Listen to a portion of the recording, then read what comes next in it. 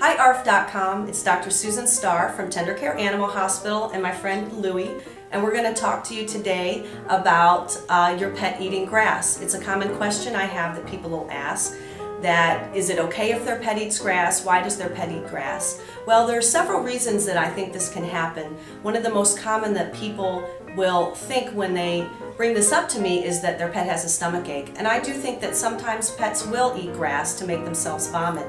Perhaps they just have a little queasy stomach for whatever reason and they'll eat the grass, vomit, and then they'll be fine.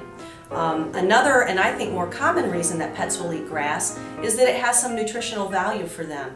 Um, grass has vitamins and minerals, it does have fiber, and we do see that dogs and cats in the wild will eat grass, and generally they don't eat anything that doesn't have some benefit to them.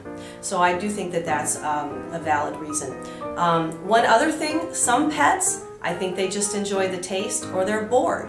Um, we'll see them do this with other things like rocks and toys and other things you wouldn't think they'd want to eat. So sometimes I think they'll just be bored or enjoy the taste of certain types of grass.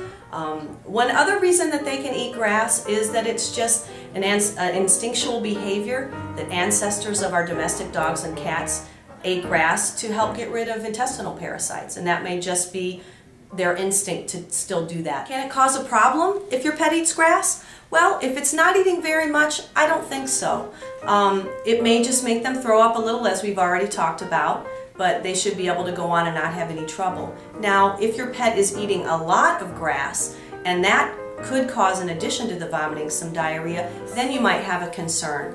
Um, I think if you seem, if it seems like your pet is eating a lot of grass excessively and not wanting to eat their food, that would be something that you would want to discuss with your veterinarian.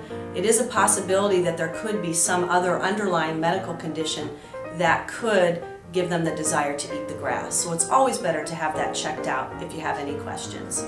So from myself and Louie, see you soon.